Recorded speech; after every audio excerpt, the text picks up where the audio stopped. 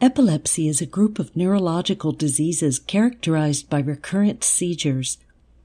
Seizures happen as a result of a sudden surge in the brain's electrical activities. Depending on which part of the brain is affected, a seizure may manifest as loss of awareness, unusual behaviors or sensations, uncontrollable movements, or loss of consciousness. The brain is a complex network of billions of neurons. Neurons can be excitatory or inhibitory. Excitatory neurons stimulate others to fire action potentials and transmit electrical messages, while inhibitory neurons suppress this process, preventing excessive firing. A balance between excitation and inhibition is essential for normal brain functions. In epilepsy, there is an up regulation of excitation and or down regulation of inhibition, causing lots of neurons to fire synchronously at the same time. If this abnormal electrical surge happens within a limited area of the brain, it causes partial or focal seizures. If the entire brain is involved, generalized seizures will result.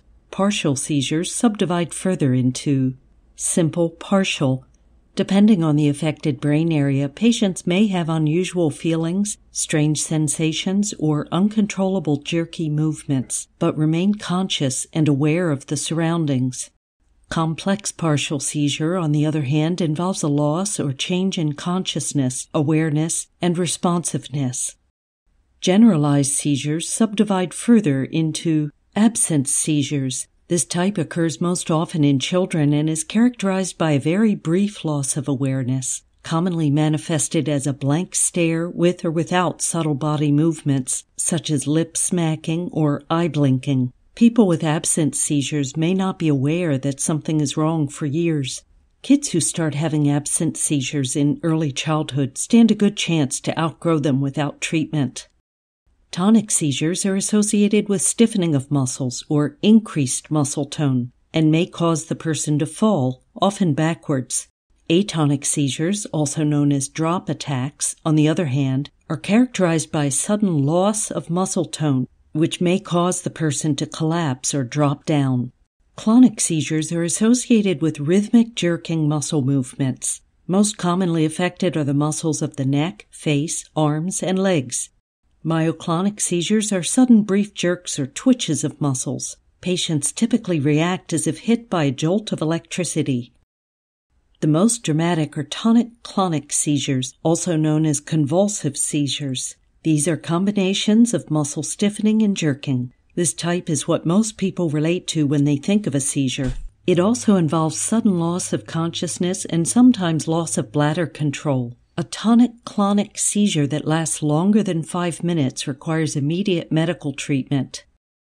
Epilepsy may develop as a result of a brain injury, tumor, stroke, previous infection, or birth defect.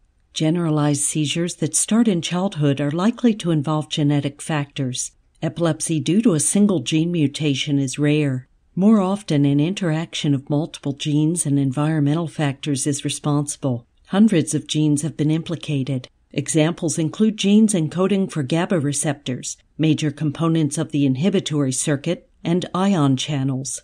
Many genetic disorders that cause brain abnormalities or metabolic conditions have epilepsy as a primary symptom. The cause of epilepsy is unknown in about half of cases.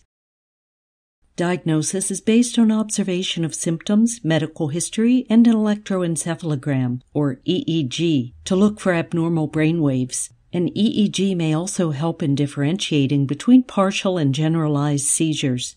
Genetic testing may be helpful when genetic factors are suspected. There is no cure for epilepsy, but various treatments are available to control seizures. Medication successfully controls seizures for about 70% of cases.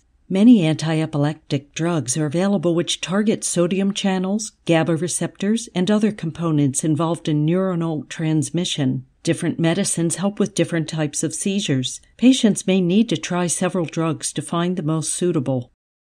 Dietary therapy. Ketogenic diet has been shown to reduce or prevent seizures in many children who do not respond to medication. Ketogenic diet is a special high fat, low carbohydrate diet that must be prescribed and followed strictly. With this diet, the body uses fat as the major source of energy instead of carbohydrates. The reason why this helps control epilepsy is unclear, Nerve stimulation therapy, such as vagus nerve stimulation, in which a device planted under the skin is programmed to stimulate the vagus nerve at a certain rate.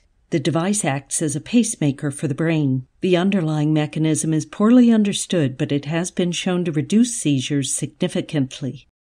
Finally, a surgery may be performed to remove part of the brain that causes seizure. This is usually done when tests show that seizures are originated from a small area that does not have any vital function.